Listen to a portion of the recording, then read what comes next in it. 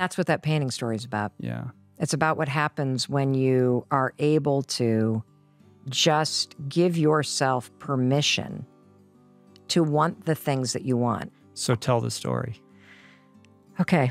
So I'm probably going to I mean, it's sob long. hysterically. It's- I'll, I'll, shorten it. I'll yeah. shorten it. So the the bottom line is, is that so in 1990, I was a senior in college at Dartmouth, and my parents came to visit from Western Michigan, and we went to this place called Simon Pearce, which is a famous glass blowing mill.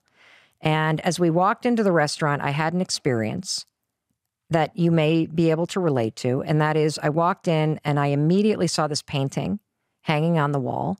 And it was about the size of a door, only horizontal. And it was a Vermont landscape. And I was drawn into it immediately. Like I was no longer in that restaurant. I was standing in that field. I could feel that breeze. I had never, ever had an experience like that with a painting. Have Right. you ever I had mean, an that was- experience like that with art? No, I mean, not like that. Not like that. I mean, my yeah, my sense was that this is very atypical for you. Very. So I kind of lost it. The the the the restaurant was quiet, and then I leaned back. I'm suddenly kind of back in the moment. I'm like, I'm going to own this painting someday. It just that was what was right there. And I looked at the price and it said like three thousand dollars. I'm like, not today. And I went back and I sat down, and that was it. But the painting never left my mind. You see, there's something called the Zeigarnik effect. I, I always say it wrong, mm-hmm. but it's like there's a checklist in your brain that when you have a moment where you're like, this is important, your brain puts it on a checklist. Yeah, and there's like a notch. Yes, a notch happens. And now your brain, as part of the filter in the brain, is always going to be kind of scanning the subconscious to let anything into your mind related to that incident. It can be positive, by the way, like with the painting, or this is how trauma happens too. Like you have this high intensity emotional experience that notches something in your brain, and now your brain kicks in to remember. So, uh, bottom line is, uh, I always thought about that painting. Years go by. Whenever somebody would say Vermont, I'd think of the painting. I don't know why. I can't explain it. Never wanted a painting before. Was not an art student.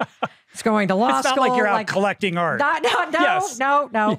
And so I, you know, fast forward the story 10 years, and my uh, uh, Chris and I are, are engaged, and we're going to go up to Vermont to see the leaves. And immediately I'm like, we got to go to Simon Pearce. I got to show you the painting. So we pull up to the mill and we walk in, and right in front, there is boom, a painting by the same artist, Gail Shepard. And I'm like, oh my God, it's here. And we race all around the place, and it's gone. And the funny thing was, and this is the way your brain works, Chris was more disappointed than I was.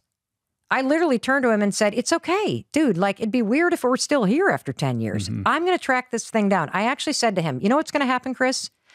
I'm going to be able to buy this like 40 years from now. It's going to be hanging in the corporate lobby of some f- building, and I'm going to have to track down the owner and pay like quadruple the money they pay. But I'm going to own You this have a damn mission thing. now, I'm mission, yes.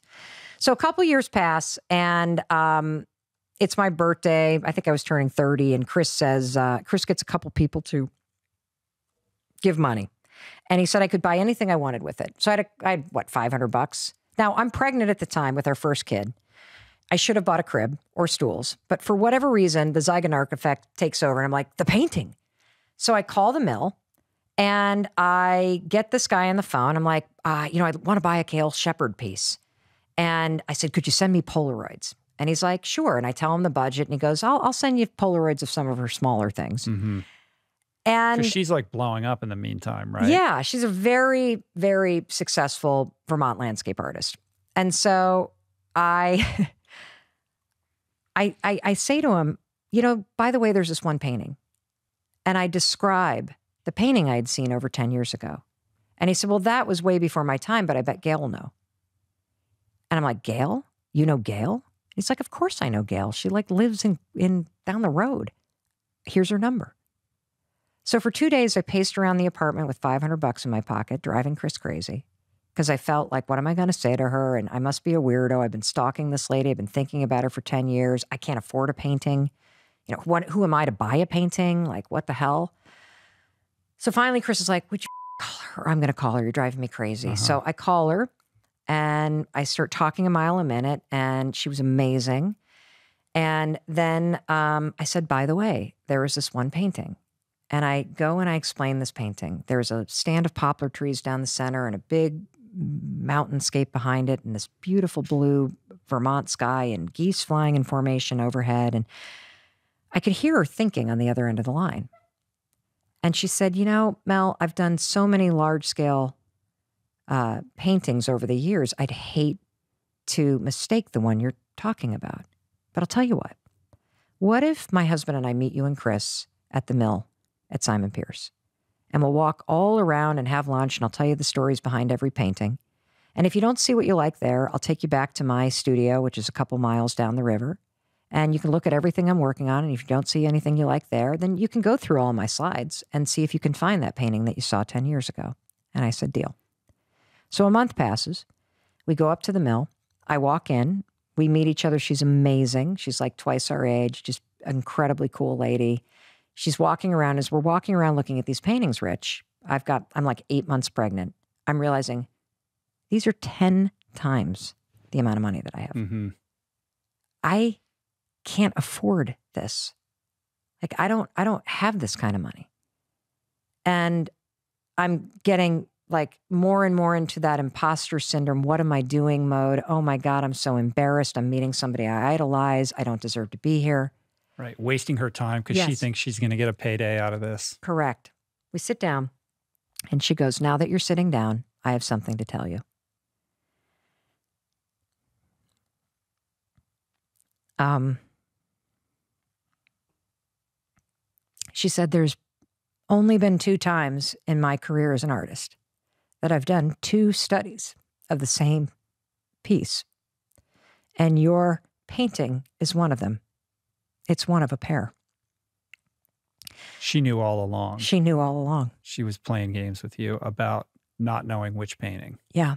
And she said, the sister piece to the one that you saw all those years ago is sitting in my studio right now, where it's been for the past 11 years. I start sobbing. Everybody's like totally emotional. Her husband's like, "You should have seen her when you when she was on the phone with you. It was like she saw a ghost." So we get in the car and we drive to the mill. And when we walk in, there in the center of this massive kind of barn studio space is an easel with a painting taped up with painter's tape on it. And it was the sister to my painting. There were mm-hmm. slight differences, not as much movement in the grass, but it was one of the most extraordinary experiences of my life. It was as if time suspended and I was standing before that painting in 1990 saying it would be mine. And there I was 11 years later standing in front of it. And then I realized, oh my God, I can't afford this.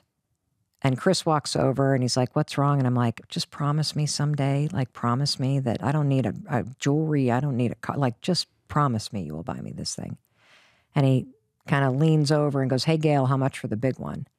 And she said, um, Mel can have it for 500 bucks because clearly when I was making it 11 years ago, I was making it for her.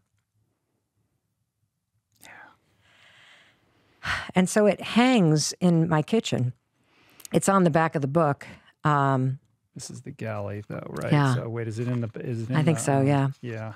and um, it's a reminder every day that your mind is is. designed to help you get what you want.